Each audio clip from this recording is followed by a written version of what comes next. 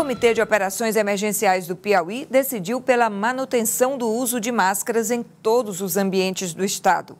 A decisão foi baseada no documento divulgado ontem à tarde pelo Comitê Científico do Nordeste.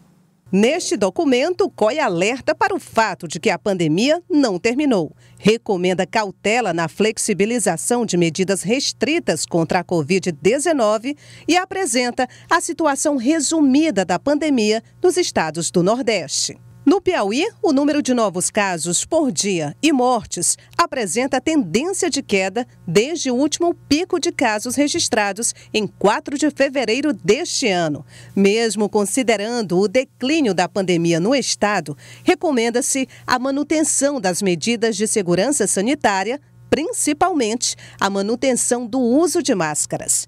O COI estadual decidiu ontem fazer uma nova avaliação dentro de 15 dias. O Comitê Científico do Nordeste se reuniu e analisou que os dados epidemiológicos do Nordeste, dos estados do Nordeste, é extremamente positivo.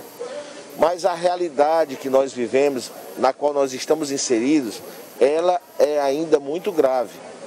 E ontem nós tivemos a confirmação de dois casos da Delta Cron, essa nova variante, no Brasil. No Piauí, os números de casos e mortes pela Covid-19 estão em queda acentuada. Nas últimas duas semanas, segundo dados do relatório da décima semana epidemiológica do Centro de Informações Estratégicas de Vigilância em Saúde, o CIEVES, a taxa de transmissibilidade também está se mantendo em queda no estado. Segundo o relatório do CIEVES, as mortes em decorrência da doença apresentaram queda de 73% em comparação aos últimos 14 dias. A média atual é de duas mortes por dia. Na semana anterior, a média estava em três mortes dia por complicações da Covid-19.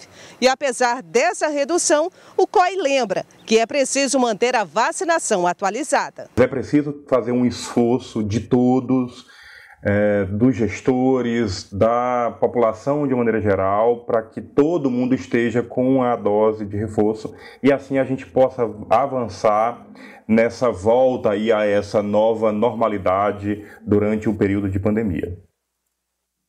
Já o COI Municipal reafirmou que vai manter a flexibilização do uso de máscara em espaços abertos, independente da decisão do Estado. A Prefeitura diz que se baseia em critérios técnicos de monitoramento da Covid. Na Europa, vários países como Alemanha, Holanda, Áustria, Reino Unido e Suíça voltaram a apresentar um crescimento nos casos de Covid depois da flexibilização das medidas.